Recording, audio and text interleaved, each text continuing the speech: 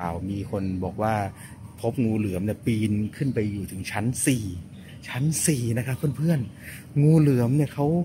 ปีนไปขึ้นไปถึงชั้นสี่ได้นะฮะแต่เราก็แค่ฟังผ่านๆมาว่าอ๋อมันมันมันมีอย่างนั้นอะไรเงี้ยแต่ว่าพอมาเช้าวันนี้ครับ พี่เหลือมของเรามาหา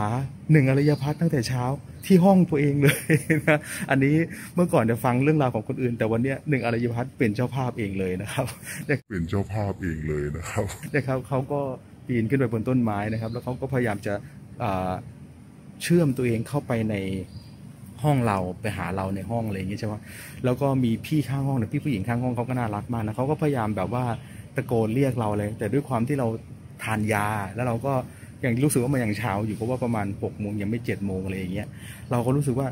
ไม่น่าใช่เรียกเรามั้งคือไม่น่ามีใครเรียกเราอะไรอย่างเงี้ยเราก็ไม่ตื่นไม่อะไรอย่างเงี้ยใช่ไหมก็ยังนอนหลับไปสักพักหนึ่งนะก็รู้สึกเหมือนมีคนแบบโวกเวกโวยวายกันหลายคนอะไรอย่างเงี้ยทำไม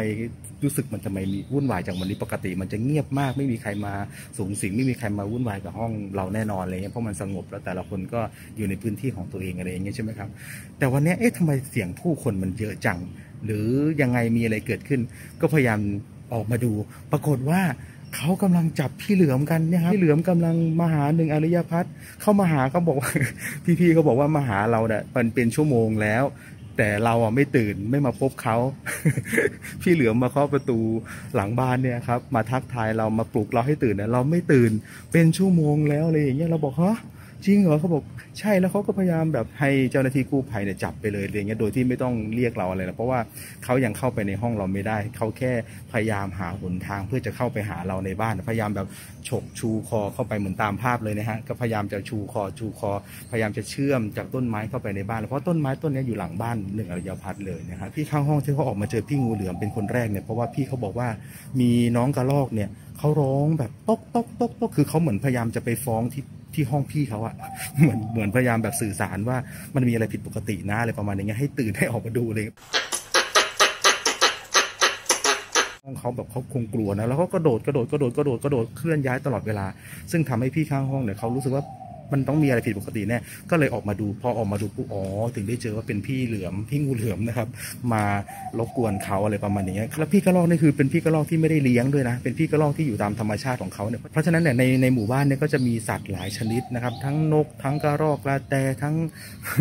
รวมถึงพี่เหลือมพี่งูแล้วก็เชื่อว่าคงไม่ใช่มีแค่ตัวนี้ตัวเดียวหรอกอะไรอย่างเงี้ยใช่ไหมเพราะฉะนั้นเนี่ยก็เป็นเรื่องที่ดีที่สถานที่แบบนี้มีความเป็นธรรมชาติสูงทำให้ ในหมู่บ้านมีโอโซนที่ดี แต่ก็ต้องระมัดระวังสัตว์ที่ไม่พึงปรารถนาด้วยแต่จริงๆเราเราไปว่าเขาไม่ได้หรอกเพราะเขาก็มาตามธรรมชาติของเขา เขาเห็นที่ไหนอุดมสมบูรณ์เขาเห็นที่ไหนน่าอยู่เขาก็ไปอยู่อะไรเงี้ยเพียงแต่ว่าเราในฐานะเป็นมนุษย์เราก็ต้องระมัดระวัง แล้วก็ดูแลตัวเองให้ดีอะไรที่เราสามารถป้องกันตัวเองได้ก็ทำนะอย่างเช่นท่อน้ำหรือ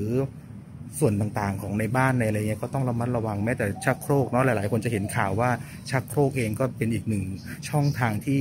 พี่งูต่างๆ โดยเฉพาะพี่งูเหลือมเนี่ยจะชอบเลื้อยเข้าไปแล้วไปโผล่ที่ช่องชักโครกอะไรเงี้ยแล้วก็เคยมีข่าวแล้วว่าเออชักแบบโผล่มาจากชักโครกเพื่อมาฉกก้นเด็กหรือมาฉกคนที่นั่ง